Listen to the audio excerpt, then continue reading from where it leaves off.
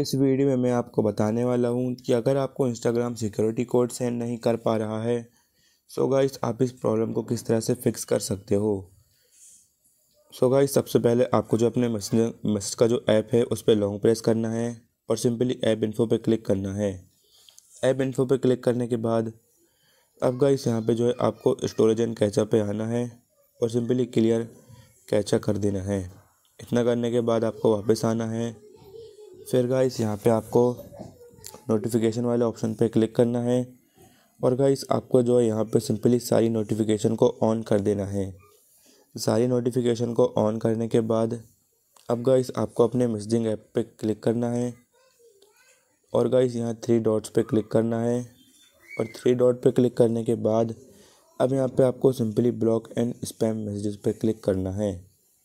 Block and spam messages पे click करने के बाद अब गाइस यहाँ पे आपको सिंपली ब्लॉक्ड नंबर वाला ऑप्शन दिख रहा होगा।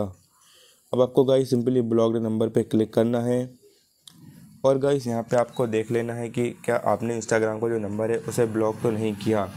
अगर गाइस आपने इंस्टाग्राम के नंबर को ब्लॉक किया है तो सिंपली उसे अनब्लॉक कर देना है। इतना करते ही गाइस इंस्टाग्राम जो है आपको सिक्योरिटी कोड सेंड कर पाएगा। सो गाइस वीडियो पसंद आए तो वीडियो को लाइक करके जाना। और अगर आप हमारे चैनल पर नए हो तो हमारे चैनल को भी सब्सक्राइब कर देना।